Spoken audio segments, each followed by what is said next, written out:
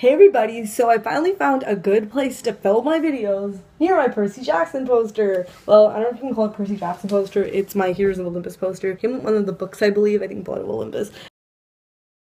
Anyways, not the point of this video. Today's video, I'm going to be talking about the selection series. First of all, let me first say, yes, I am late as hell on the game. I finished reading the selection series like Sunday and I finished it within one and a half weeks because of summer break and I was like, let me get on reading. And I got on it. If you guys don't know what the selection series is about, which I'm sure you do know, it is about there's this process called a selection that happens in this futuristic America world, okay? And the selection is where people from each one girl from each province is chosen for the prince and the prince goes through this the selection to choose who will be the queen. I think that was badly explained, but whatever.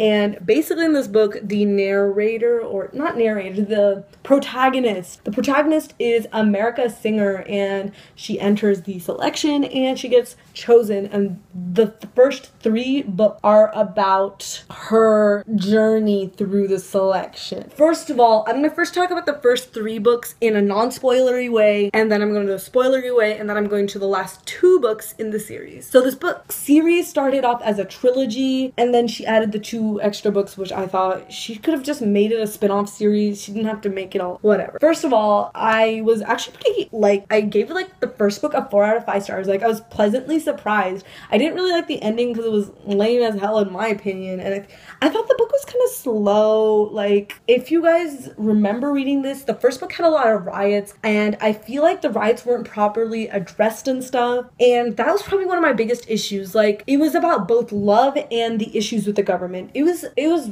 I feel like this book was copying the Hunger Games series, except Hunger Games managed to capture it in its real essence.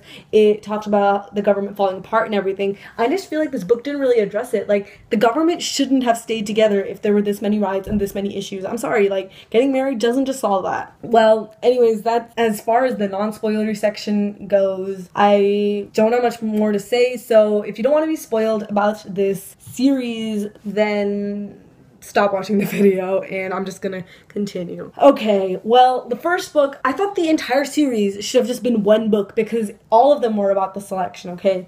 First of all, the book was just so predictable. It was so obvious that Maxon was gonna choose Maxon, Maxon, whatever, was gonna choose um, America in the end. Like I saw that coming from a million miles away. Okay, okay. Also, like I feel like she never really gave Aspen a chance. Like after she met Maxon, it was so obvious she was never ever gonna give Aspen a chance. And throughout the book, she didn't even really do it. Like even when she was like cheating on Maxon with Aspen, I feel like she never really got a chance. Okay, at the end of the book in the first three series, I think it was I don't think it's is it the one? I can't remember for the life of me, even though I read it last week. I've read so many books.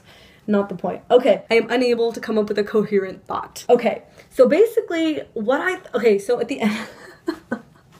So at the end of the book, they're like, oh, we're gonna dismantle the caste system and dissolve it, okay? You can do that, but that's not gonna solve everything. Also, like in the next two books in the series or whatever, here's the deal no matter what form of government, not everyone's gonna be happy. Our world should show you that. So I'm a little confused and stuff. And by the way, it was just disappointing by the end. Like last two books, I rated a two out of five because it was disappointing. I also found Maxon to be really cringy and predictable.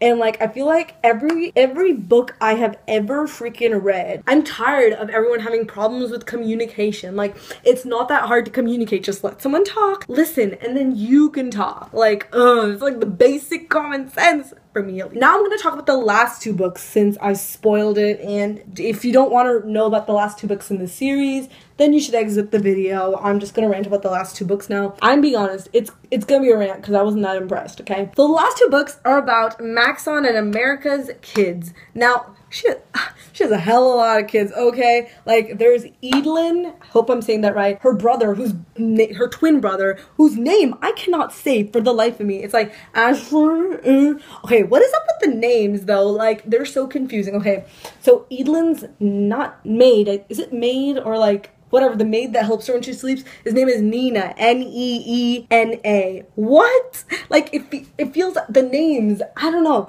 I know it's such like a unimportant thing. I'm just gonna say unimportant. Such a irrelevant thing. I think that's the word. Like even though the names seem like such an irrelevant thing, it just kept annoying me that for the life of me I could not pronounce any names. First of all, I don't want to say Maxon's last name.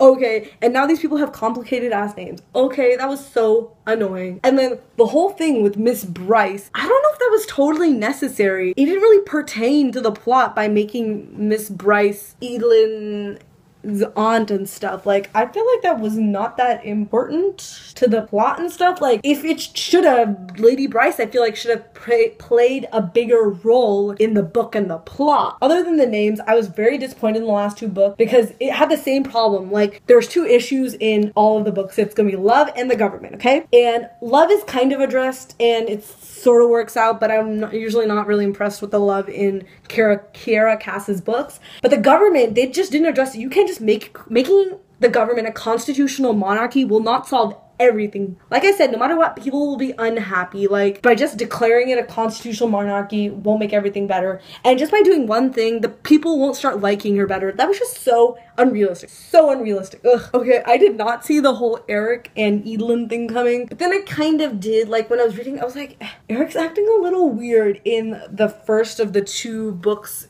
with um in Eadlyn's point of view. The next book I could kind of tell because they kept having like these awkward tension, heated moments, and I was like, oh, of course she's gonna like Erik.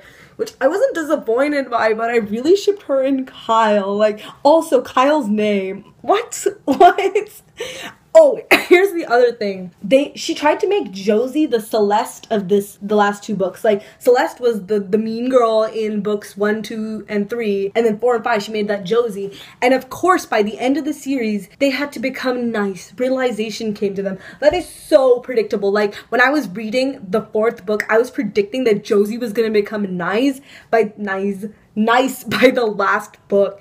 And Wow, shocker, it came true. I keep touching my hair. I have to stop. Yeah, I had a lot of problems with this. Also, I feel like the last two books could have also been one book. I didn't see the need for there to be two books because oh, I forgot. The whole America singer has a heart attack because of a heart condition. She's freaking 30 something. Okay, I know some people who have heart conditions, but you can't just keep bringing it like back in and stuff. And also, I didn't see the point of uh you know how Kendra dies and stuff, right? So, you know, I feel like, oh, it's like a personal conversation. Okay, I'm gonna stop. Basically, Kendra dies and her kids aren't gonna come to the palace because James is a simple man.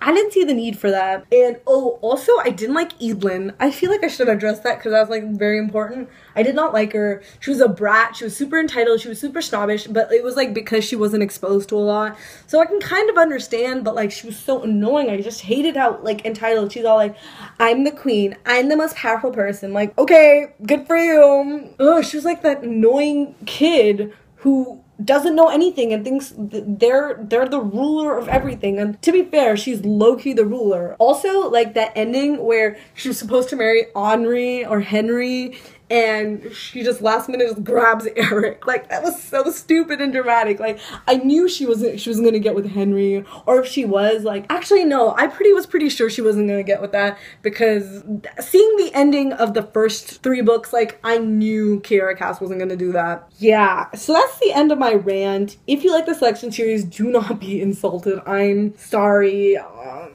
this is my personal opinion. I started out liking the series, but then it, for me, just went downhill. Sorry, I'm gonna leave a disclaimer, but like, we all have our own opinions. If you did like the selection series, uh, do let me know what you liked about it. So that's it for this video. I'm trying to post consistent videos, but I'm pretty bad at it. But anyways, give this video a thumbs up and have a great day.